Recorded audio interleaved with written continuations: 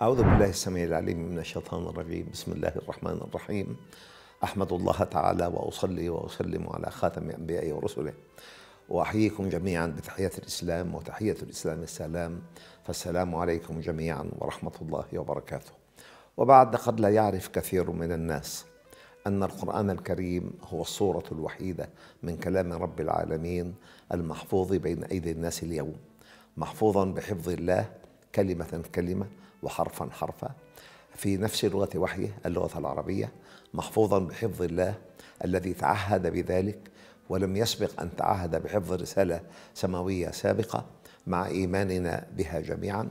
ولذلك يبقى القرآن الكريم هو الصورة الوحيدة من كلام رب العالمين المحفوظ بين أيدي الناس اليوم. محفوظا بحفظ الله تحقيقا لهذا الوعد الإلهي الذي قطعه ربنا تبارك وتعالى على ذاته العلية. فقال عز من قائل إنا نحن نزلنا الذكر وإنا له لحافظون.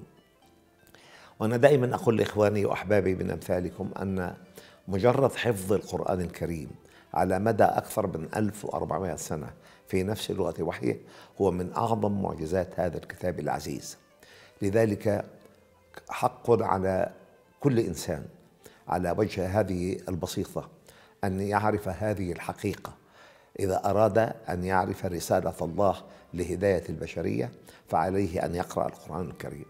ومع إيماننا بجميع الكتب السماوية التي سبق أن أنزلها ربنا تبارك وتعالى هداية لخلقه إلا أننا نقول أن كل هذه الكتب قد تعرضت إما للضياع التام أو لقدر هائل من التحريف والتغيير والتبديل عندما نقلت من لغتها الأصلية إلى لغات أخرى.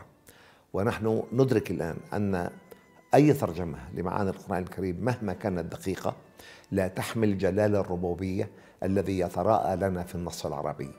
فهذه دعوة لكل إنسان عاقل يريد أن يدرك رسالة ربه إليه أن يقرأ القرآن الكريم.